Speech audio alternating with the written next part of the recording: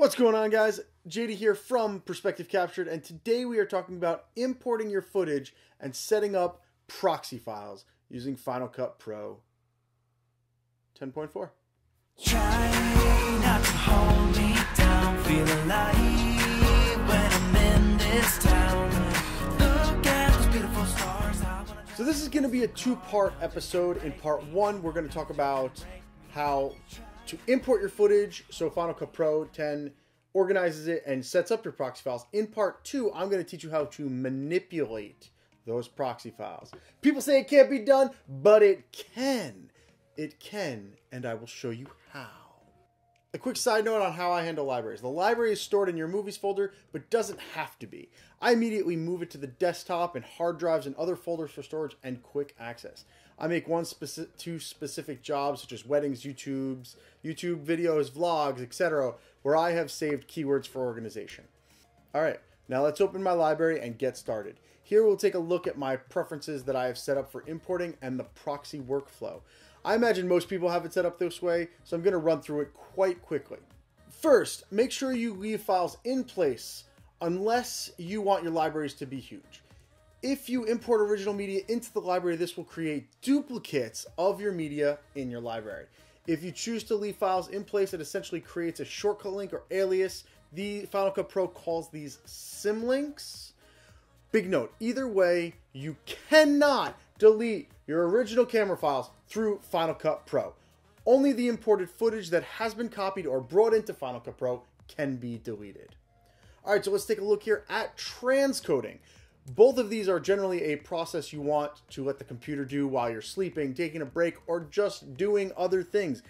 It's just easier to let the computer do its job and then get back to editing. Unless you have a new special MacBook Pro. Yes, I'm jealous. I'm sorry. I'm just jealous of you MacBook Pro users. Beautiful computer. All right, optimized media. This is a ProRes copy of your imported media that will be stored in your library. We might want to do this for files like MP4, H.264, and others because they are containers. And this is more stressful for the computer to work with them.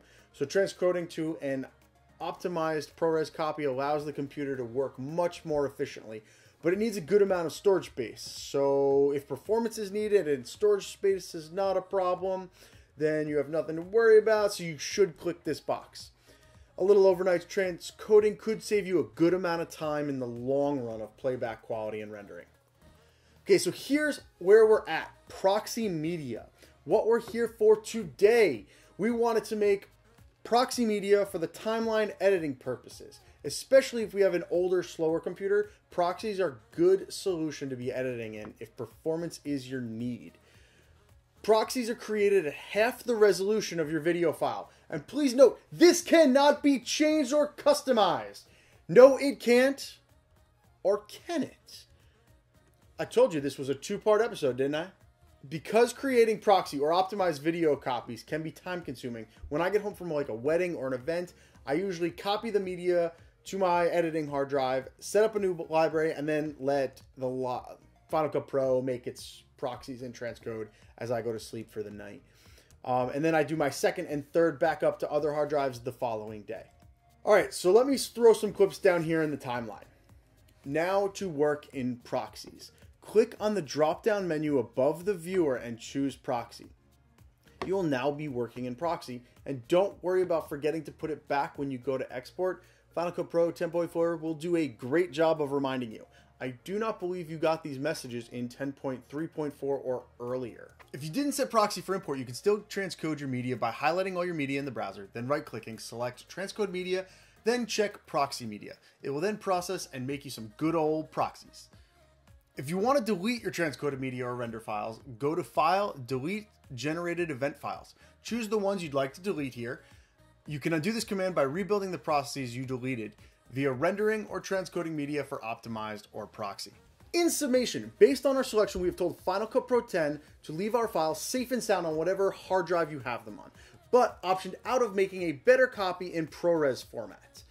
Then we also asked Final Cut Pro 10 to make a low-res copy for which we will use to edit with and complete our intensive editing on. So that concludes the first part of my proxy series. Please leave some comments below. Those life stories of what you have going on and let's get that conversation up and running. Thank you so much for watching. Hitting that subscribe button not only helps me, but helps you too. You will feel accomplished today. And if you're feeling good after that, go ahead and hit that thumbs up button. Now get out of here and go make progress. I'm gonna skip my breaks. I'm gonna make mistakes. I'm gonna skip my breaks. I'm gonna make mistakes.